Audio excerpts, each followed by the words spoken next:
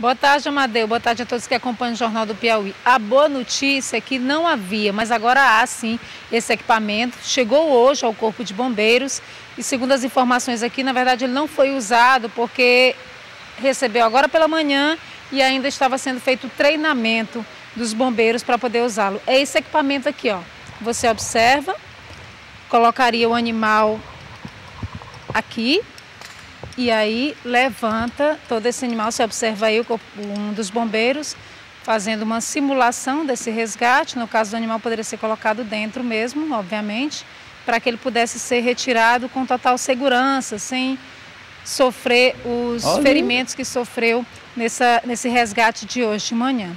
A gente vai conversar com o Major Rivelino de Moura, ele é especialista em salvamento, vai falar a respeito dessa série de equipamentos que o Corpo de Bombeiros conseguiu a partir de hoje, não só esse equipamento aqui que você observou, você vê aí nas imagens agora mais equipamentos, a maioria desses equipamentos é para salvamento em água e o Major vai explicar para a gente a função de alguns desses principais equipamentos que faltavam, equipamentos aparentemente simples que o Corpo de Bombeiros não dispunha, agora recebeu. São equipamentos que dá pelo menos para distribuir para todas as unidades do Estado, Major, e como utilizá-los. Boa tarde. Boa tarde, boa tarde Amadeu, boa tarde ao Galego, boa tarde a todos os piauienses. É com prazer que a gente diz que, felizmente, de manhã nós não tínhamos, mas nós estávamos com os equipamentos, dando as instruções e fazendo a devida entrega para as unidades que terão o recebimento de um equipamento igual a esse. É um equipamento próprio para se fazer resgate em poço, em bueiros, em altura, vai dar para fazer a utilização dele. Vejam que é um equipamento simples, mas com toda uma certificação, embora o valor seja um pouco elevado, mas é um trabalho do comando geral para que todas as unidades tenham esses equipamentos e os treinamentos necessários. Esse é um tripé de resgate, ele suporta até quantos quilos? Esse aqui especificamente 3 mil quilos. Então dá para você fazer qualquer trabalho onde o ser humano vai fazer o içamento de uma carga. Vejam que temos um homem, dois homens fazendo a, a, a tração e conseguem fazer a elevação de mais de 300 quilos, simulando como se nós tivéssemos uma vítima nesta prancha que está aí na, no do, do bombeiro. Correto. Pois não, Amadeu, pois não. É, bem, claro que a gente está referindo ao fato que aconteceu desta porca lá no Parque Piauí, na obra é, do, do, do, da unidade de saúde.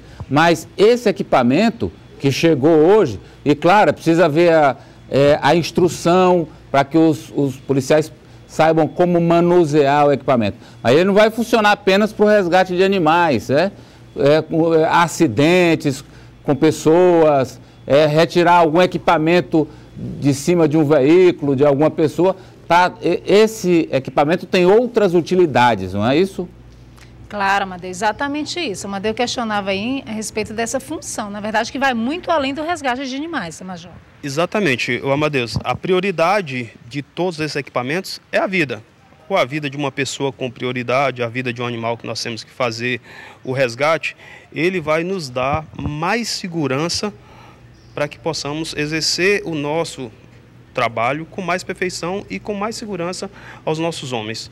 Vamos mostrar também alguns equipamentos aqui, Amadeus, que você observa nesse momento, é para resgate em água. A gente sabe que no Piauí a gente tem muito problema, infelizmente muitas vidas que se perdem por afogamento, por falta de equipamentos simples como esse. Como chama esse equipamento esse é um... e como usá-lo, Major? A gente chama ele como um tubo de resgate.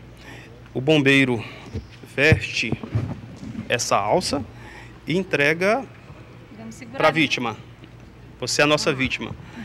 Eu não vou ter trabalho com você. Você se abraça a boia e eu vou só lhe arrastar. Tem um tirante que está ligado a mim. Você se abraçou com ela, você está salva. Ou seja, isso impede que a vítima acabe se desesperando, que muitas vezes acontece, suba sobre o, o, o bombeiro e isso acabe atrapalhando, de certa forma, o resgate. Exatamente. Com isso, nós vamos conseguir facilitar e dar a sensação de segurança maior para essa vítima. Vejam, tem um outro equipamento, essa prancha de, de resgate, que é utilizado com a moto aquática. É aquela que ela vai ligada atrás de uma moto aquática, atrás do jet ski. E você pode fazer o salvamento de duas, três ou quatro pessoas segurando ela e ninguém se afoga. Você consegue tracionar e levar para qualquer lugar. Vamos tentar mostrar aqui como que isso funcionaria. No caso de uma única vítima, ela iria deitada sobre a prancha, não é isso? No caso de várias pessoas. Devia estar era o Esse é, galego. seguro, é, é travado no jet ski, Certo. aquática. Vamos lá, esse aqui é travado no jet ski. A vítima, sendo só uma vítima, você pode deitar ela aqui e o bombeiro vir e segurar. O jet ski faz o transporte. Se for o mar de vítima, é só mandar as vítimas ficarem segurando nestas alças e transportar bem devagarinho e todas vão se salvar. Ou seja, a gente observa que aqui tem uma, duas, três, quatro, cinco, seis, sete alças. Você pode deixar sete pessoas segurando nela que ela não vai afundar. Falando Equipamento peso- simples. fa- Falando de peso, ela suporta mais de 500 quilos de flutuação. Esses equipamentos todos, eles vão ser usados onde? Eu, eu havia feito essa pergunta no início, se há equipamentos suficientes para distribuir para todas as unidades, Major. A gente tem hoje, com a chegada desses novos equipamentos? Nós já fizemos essa distribuição já agora de manhã, o comandante-geral já determinou que fosse feita essa distribuição para as unidades. Então nós vamos estar distribuindo esses equipamentos para a unidade Teresina, unidade Parnaíba, segundo batalhão, Picos e Floriano, onde nós temos unidade de bombeiro. Outra coisa que a população sempre reclama, às vezes a gente está acompanhando o trabalho do Corpo de Bombeiros e muita gente menciona que às vezes observa que o bombeiro não está com equipamento devido. Por exemplo, falta um capacete, falta uma luva. Vê equipamento nesse sentido também? Hoje, o comandante-geral já fez a entrega para cada bombeiro que trabalham na área de salvamento, entregaram um capacete, um óculos de proteção e uma luva, que é justamente para que o bombeiro tenha segurança para ele, como proteção individual. E esses outros equipamentos são de proteção coletiva. E todos vão estar trabalhando, tendo as instruções necessárias para que funcione perfeitamente os equipamentos. Gorete, Você já vai. Pois não, Amadeu. importante que a gente, é, a partir do momento em que esses equipamentos chegaram, uma cena como aquela lá da. Cadê a cena aí, Ney? Da, da, da porca, rapaz, da leitoa é, sofrendo, porque não, não- Olha só, aí arrastando a pele na, na madeira, no barro, se ferindo. Ah, Imagina a agonia desse animal e das pessoas também. Até você vê o namorado da porca também chegou lá para prestar solidariedade.